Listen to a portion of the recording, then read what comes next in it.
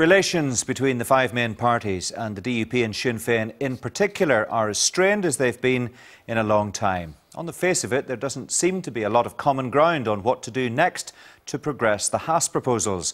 The Deputy First Minister, Martin McGuinness, has been giving me his unvarnished thoughts on the current state of play. When he came into the studio earlier, I asked him first how useful Tuesday's meeting between the five party leaders had been.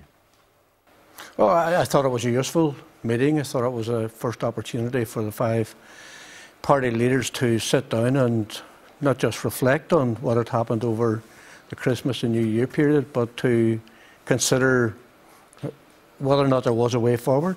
And that's what I was trying to establish whether or not we were going to be involved in a serious effort to explore how we can move forward. And I say that against the backdrop of there you know, not been a lot of confidence in where others are coming from. I mean, for example, uh, it, it, was said at one stage that we should set up a mechanism to explore uh, 340 elements of what was in the Haass documents. And I made it clear I wasn't interested in dealing with that, that what we needed to see were those parties who had objections to the Haass document lay those objections on the table so we could explore whether or not there was a way forward. Uh, what I'm trying to avoid, and what I think it's important to avoid, is a time wasting exercise because we've had a previous experience during the cohesion, sharing, and integration discussions mm. on these three issues, which went on for almost three years without a resolution. But if it was a useful meeting, if what was said in there was helpful, and that's what you've suggested, why did you then come out to the Great Hall afterwards and accuse unionists of listening to extreme elements within their community? Because the elephant in the room are the extreme elements within the loyalist community. Those people who have been fomenting conflict on the streets, who have been involved in riots on the streets, who have been in Belfast uh, trying to manipulate the situation for their own purposes. And I say that as someone who has stood four square with my colleagues in the Assembly against those people who killed two soldiers in Antrim, who killed Ronan Kerr, Stephen Carroll, David Black. Uh, I expect politicians on the unionist side, whenever the police are being attacked, as they were in Belfast city centre, with 350 police officers injured, to stand with me in outright, unreserved condemnation of the activities of those who would try, try to uh, drive us back to the past. The difficulty is, of course, you came out and said what you said. That, that then prompted a response from Nigel Dodds the following day in the House of Commons, who hit back by suggesting Republicans continue to wallow in the filth of murder, as he put it. And it's been downhill from there. So people outside looking in wonder if you're ever going to be able to resolve the issue whenever you just keep knocking lumps out of each other. Well, I don't consider what I'm doing as knocking lumps out of anybody because. Well, unionists were very annoyed I... at what you said. I mean, well, they say they're there as elected representatives, they have a mandate, and they're not looking over their shoulders. Well, one thing about me is I, I tell it as it is.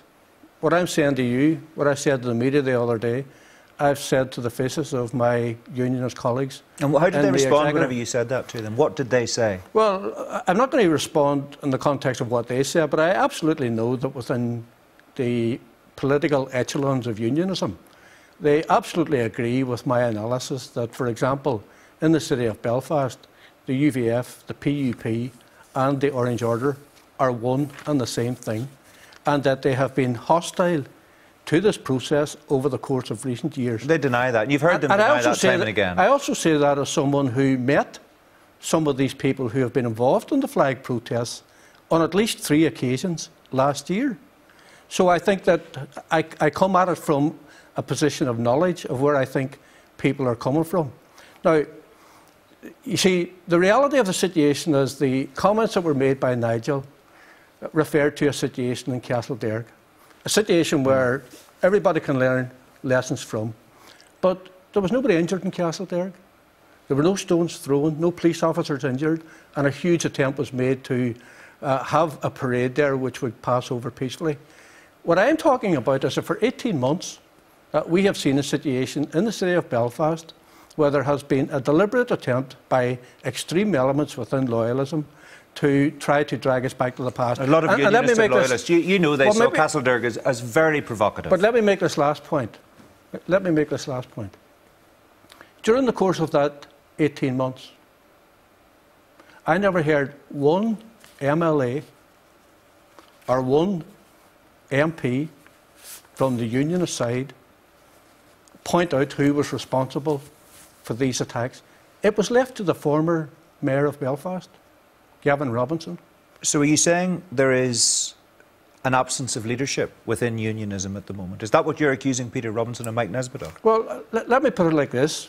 I, I have stood against the activities of so-called Republican dissidents. My house has been attacked. My wife has been verbally abused in the streets. Slogans have been written all around my house. And my life has been threatened from commemorations that these people have held.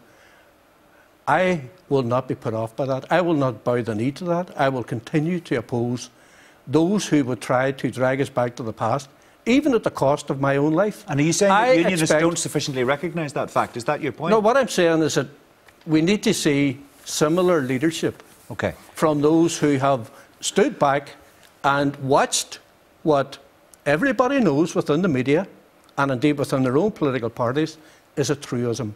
And what is a truism? The truism is that in Belfast, the Orange Order, the UVF, and the PUP have played a very negative role over the course of the last 18 and months. you know that unionists watching this will say two things. One, you cannot say the UVF, the PUP and the Orange Order are one and the same, and they've made that point time and again. And secondly, they will say that unionist leaders in East Belfast and beyond have repeatedly condemned violence when it has taken place from loyalists and have urged those involved in flag protests over the last year and a bit to take part in peaceful, lawful protests. And that's right, they have done that. Well, for a start, unionist leaders have told me that they regard the UVF, the PUP, and the Orange Order in Belfast. Which unionist leaders? As one of the same thing. I'm not going to say which unionist leaders, but I have been told by unionist politicians that the UVF, the PUP, and the Orange Order are effectively one and the same thing in the city of Belfast. You talk about unionist leaders. Do you mean leaders of mainstream yes. unionist parties? Yes. Not minor figures on the periphery? No. No. Not minor figures on the periphery. And I take that very seriously indeed. Yeah, yes, I mean, you, you could challenge me on the basis that I made my own assessment. And I'm well capable of make, making my own assessment mm. through the work that I do. But that assessment that I have made has been confirmed by conversations that I've had about who people believe, i.e., on the unionist political leadership side, believe are involved in these attacks in Belfast. So, just to be clear, you're telling me that these are figures from within the DUP and the Ulster Unionist Party? Mainstream unionist elected representatives have told me that they accept my analysis that in the city of Belfast, the UVF, the PUP, and the Orange Order are one and the same thing. And what do and they propose to do about need, that? Well, I believe it needs to be challenged, just as I have challenged those so called Republican dissidents who would try to drag us back to the past. OK, let's come back to Haass, Deputy First Minister. You see this process clearly now as one of implementation, but you can't implement something that hasn't been agreed and unionists haven't agreed. So, where do we go from here? Well, we need to get agreement, and that's what I'm trying to do. I think it's hugely important that we recognise that politics is the art of the possible. And to make the possible a reality, compromise is a central theme. If you look at the three areas that we were talking about, the whole issue of the past, parades, and flag symbols and emblems, let's take them one by one. On the issue of the past, the Sinn Féin position was that we wanted to see an international, independent truth commission established. We didn't get that. We got, some, we got something that we could live with. So what do we do? We compromised. Mm. On the issue of parades, the Orange Order's demand was they wanted to see the end of the present Parades Commission. I argued for and powers to be devolved to our administration in order to try and facilitate the difficulties that they were facing. I compromised. On the issue of flags, symbols, and emblems, uh, we wanted the issue of Maize Long Cash, uh, our national flag, the Irish tricolour, in the discussions. What was happening to the Union flag and how it was being abused all over the place. dealt with. And we didn't manage to deal with that. But what we did manage to do was establish a commission, which, if there is a mature debate, can allow us to have a very sensible discussion about Irishness and about Britishness and about how we should respect each other. So you had a meeting on Tuesday of this week. You've got another meeting between the five party leaders next week. Is that the way to deal with this process? Is Sinn Féin committed to moving forward on that basis for however long it takes? Sinn Féin is totally and absolutely committed to finding a solution. But what I am not going to do is allow the establishment of a working party down from Peter Robinson, other party leaders, and myself, which will repeat the failure of two to three years. So it has to be party leaders.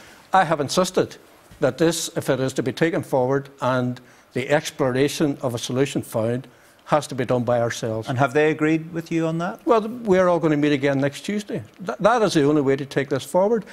It may not be successful, but I am absolutely dedicated and committed to finding a way forward because, to be quite honest, I am fed up, fed up hearing that the public out there who deserve better are disgusted with their politicians who believe we can't agree on anything.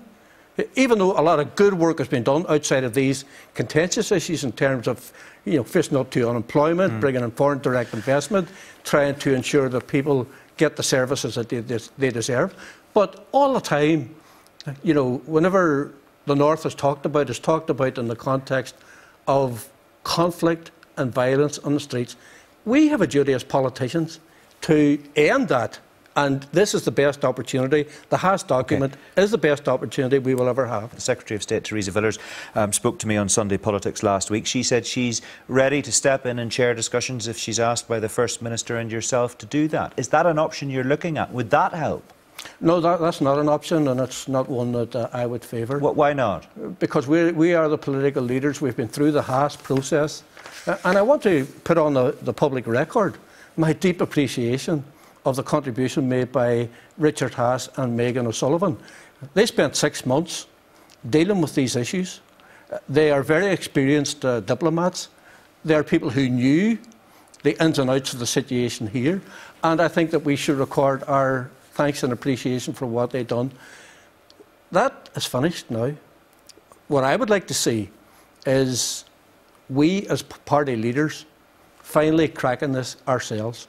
And for example, if we do crack it ourselves, uh, I can ring Richard Haass, Peter can ring Richard Haass and say, come back for a ceremonial handover of the document that he produced. Well, if you saw his reaction when I asked him last Thursday night on The View if he might come back, where he uh, laughed in a pretty enthusiastic way. It was pretty I clear, I think, that I he has no intention of coming back. Yeah, and I have no intention of asking him to come back, short of us telling him that we've reached agreement and we wish him to come back because of the mighty work that he did in producing the paper that he, that he produced. Would he come back in those okay. circumstances? I don't have any doubt about what, it. What is the deadline, uh, Martin McGuinness, that you are looking at for getting this resolved?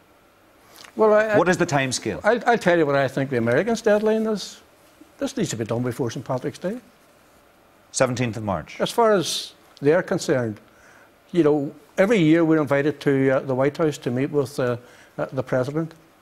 Uh, they've taken a huge interest, a lot of foreign direct investment that comes into the North, and we've been you know, hugely successful over the course of the last two or three years. I, I think if politicians have any sense of themselves, if politicians have any respect for themselves, if politicians have any respect for our community, we will do this, crack this, in the course of the coming days and weeks, not months.